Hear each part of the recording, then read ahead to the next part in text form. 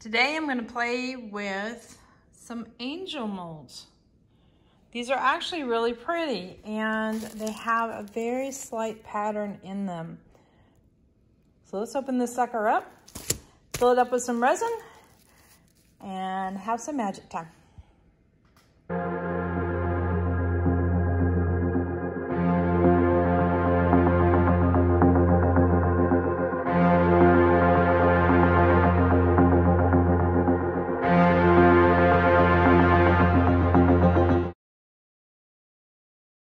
So I got a couple things going on. One is I've got some resin that I'm about to be out of my working time with and I need to hustle a little bit.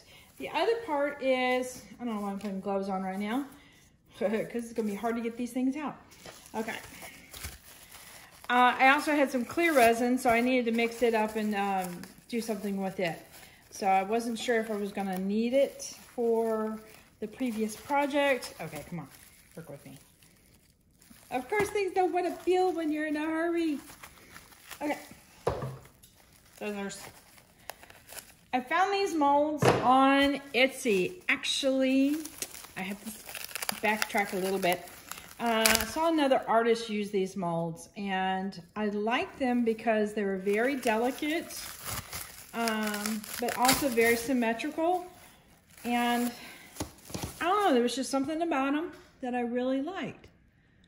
I'm gonna move them slightly. So you see the very fine lines that are kind of etched in there? So it's very subtle. And I thought that they would work really well like in a tray, just one little uh, layer um, and have a couple wings or multiple wings. So that's why I got them, because I could see some possibilities. This is definitely not the case for dry painting. You could dry paint them still, um, but there's not a lot of texture in these guys because they have the etched area. Whoops, sorry, I bumped the camera there. Um, but I think the subtle part will come out when the mold is, or the resin is done and it's set. So what I did with my clear resin is I mixed up some subtle colors. I've got some, uh, just a clear, so see how thick that resin is? I'm really getting close to my end of my working time. This is Diamond Dust. And then I've got some white mixed up. And then I've got two interference colors. I've got a gold oh, and uh, a lilac. See, I gotta hustle. And there's the, the there's the lilac interference. So I thought I'd go subtle and what I was also got is, I also have, sorry, got, I've got a purple.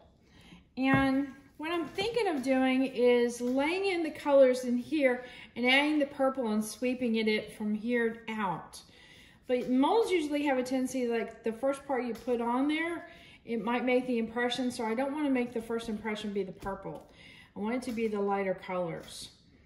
And hopefully I'm making sense. If you've seen a lot of um, geode pours, and then they peel them off, and sometimes they have like a definite circle, and a definite circle, and a definite circle. I don't want to have a definite circle of purple there. So, so I think I'm going to have, I'm going to start off with my, uh, my clear glitter. So I'm gonna definitely have a blob here. Uh-oh, here goes that word definitely coming out of me again. So what I might have to do here is apply the resin and then heat it up and then start manipulating it around so I can get it working how I want it. Because right now it's like putting Play-Doh down. Wow. If anything, it's a good way to show you guys how to mess around with resin when it starts setting up. Fun. Kidding. Not fun. Okay. That. I get somewhat symmetrical.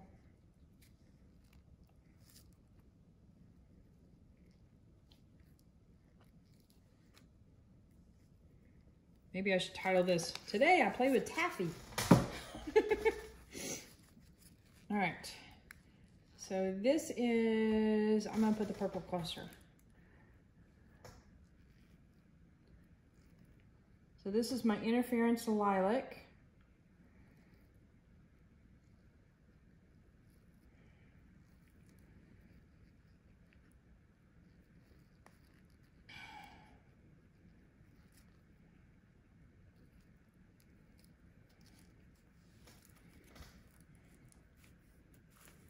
Now I'm gonna do here is I'm just running some lines in the direction that the feather feathers are going.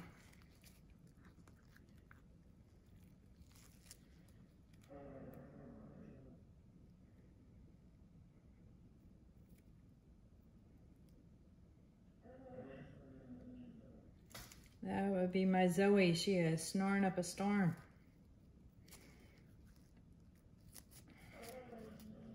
Oh my goodness.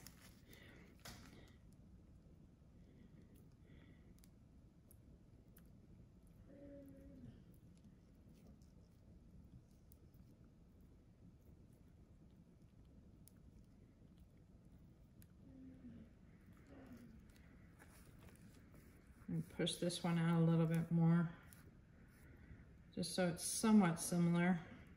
I think I might have more in this mold.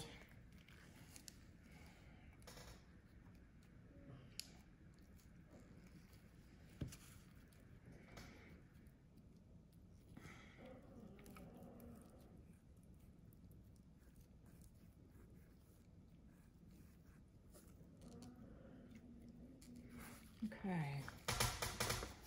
There's some gold. Ooh. This is definitely feeling like, ah!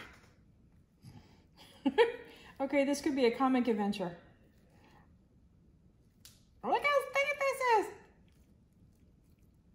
Okay, hustling. Trying to hustle.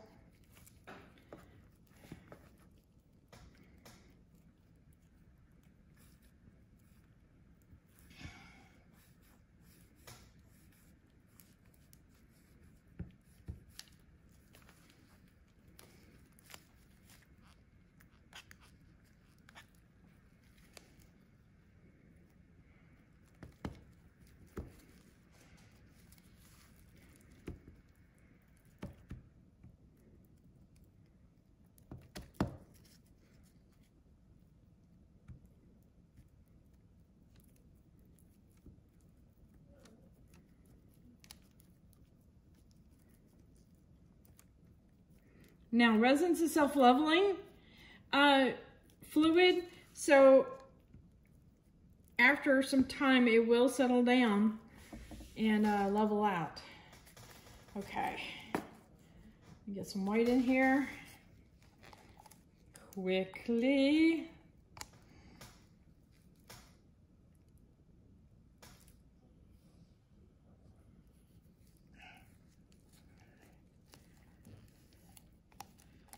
Did not follow my own advice and get some colors or resin out of a coat fast enough to mix it up in different colors. So that's probably what's going on here.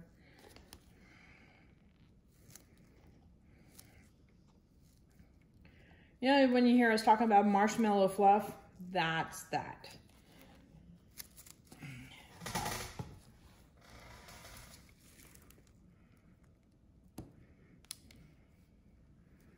It is possible to work with it.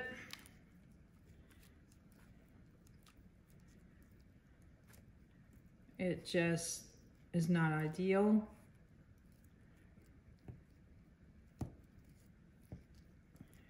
I just stuck my arm in it, which is, I'm making all the mistakes today. This is good. I'm laughing at myself. All right.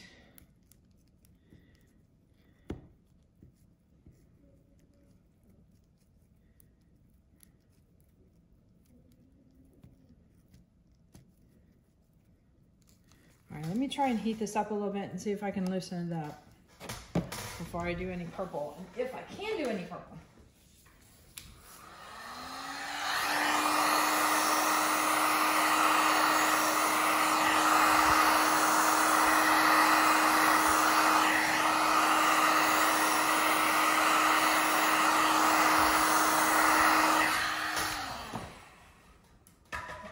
You saw the sharp edges, it kind of smoothed them out a little bit. So it tells you that it did work. Now, whether I can, give me stick. Some of that stick. Okay.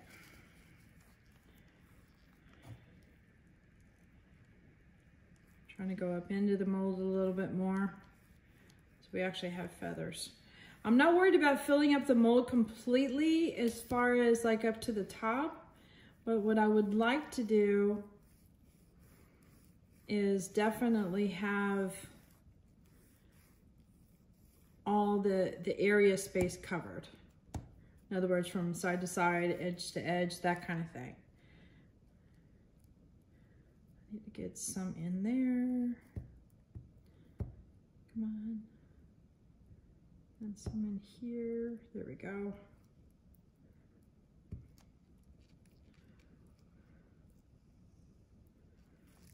All right.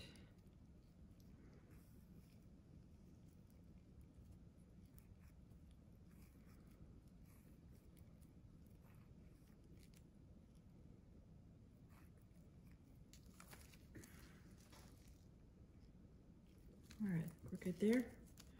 Now I'm gonna keep on moving this stuff. These are now called my taffy wings, I think.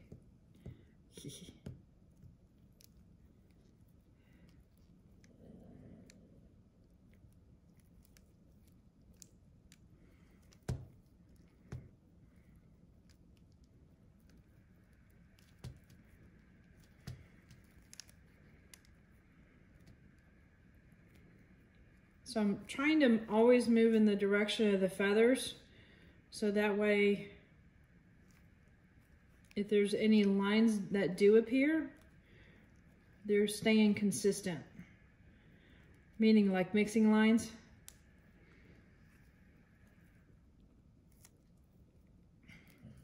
Or not really mixing lines, I should say, almost like marbling. Ah! I can't let go of the stick. All right, how are we doing on that side? That's looking pretty good. That is not looking good. Right. Let me see if I can get more in here.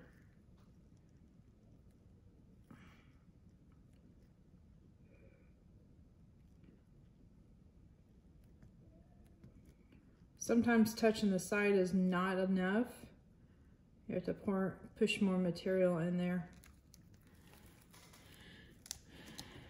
All right, me heat that up one more time.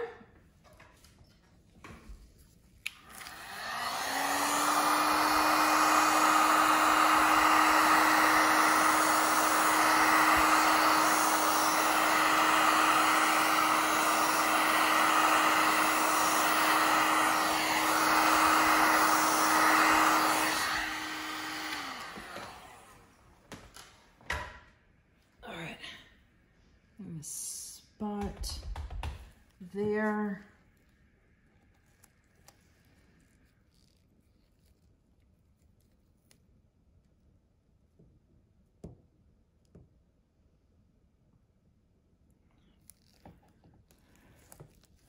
Okay, that's already looking really pretty and very delicate.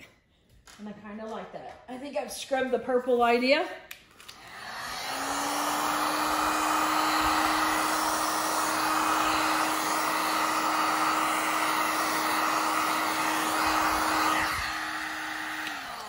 And that's okay. I got another void. Okay, gravy. You hit it, the light, uh, you know, you look at, ugh. Can't pick up any cups anymore. They're all sticky. Let me have my stick. Thank you. This one was not up against the side, so I'm trying to push some more in there. There we go.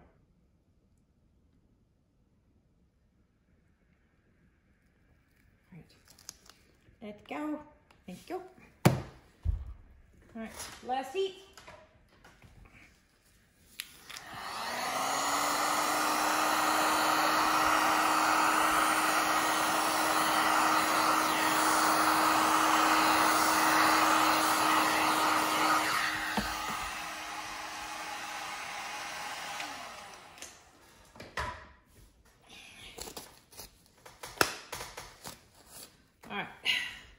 Definitely take gloves off before I grab the phone today. All right. Sorry about that. Okay. So this is overall. And then let me bring you in. This one's going to be really interesting for the unveil.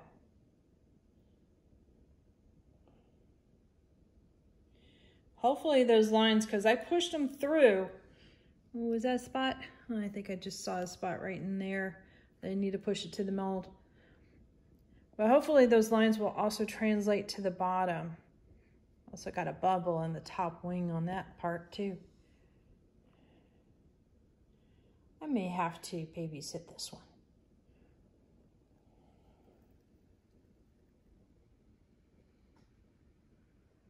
But I think it'll be really pretty. All right, until tomorrow.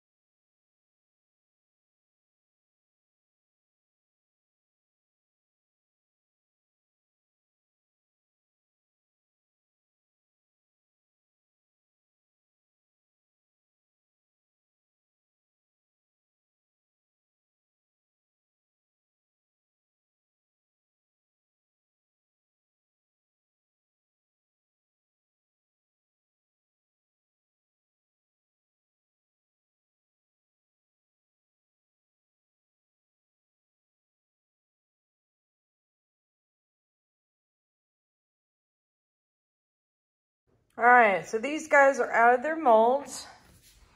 And you can see the pattern on the backside rather well. It's very subtle, but you don't have to use the pattern.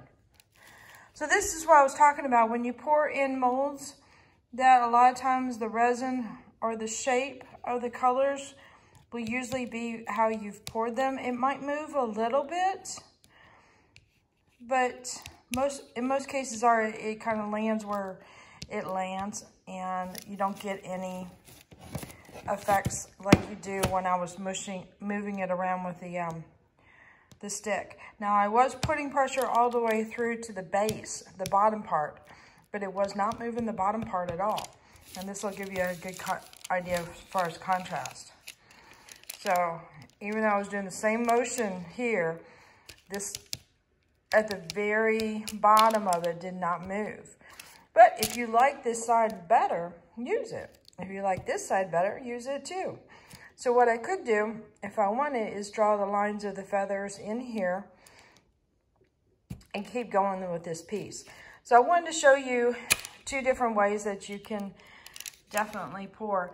And if you did notice, I did get some bubbles. I was expecting that could be an issue. These were at the bottom of the mold And that was because that resin, you saw it was so thick, I was like literally pushing it in there. But on the top, it's not so bad. So those are, it's a nice flat surface. So that's not much of an issue on the top part, but it's just on the bottom. And I was expecting that. So just one way of working with uh, resin when it gets a little thicker.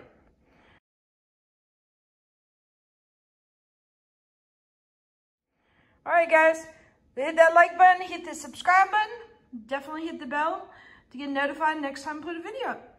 Later, y'all.